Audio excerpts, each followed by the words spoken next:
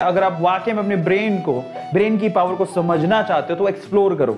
जितना ज़्यादा एक्सप्लोर करोगे आप उतने अपने दिमाग को अपनी मेंटल स्ट्रेंथ को समझ पाओगे। And that is that that is why and that is you know how you can actually check और we can say measure the power of your mind समझ रहे हो? सो so, जितना ज़्यादा एक्सप्लोर करोगे आपको उतना ज़्यादा समझ में आएगा कि आपका माइंड कितना ग्रैब कर सकता है। और किस चीज़ में कितना ग्रैब कर सकता है? जरा चेक करो।